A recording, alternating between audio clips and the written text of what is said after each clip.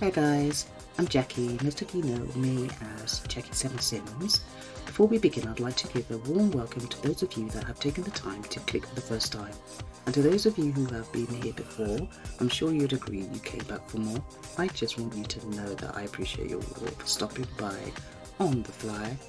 Be sure to stay and watch till the end. If you do, I'll be your friend. Don't forget to like, leave a comment, and of course, subscribe.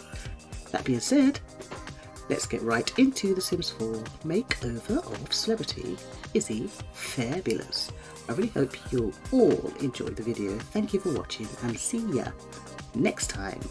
Bye.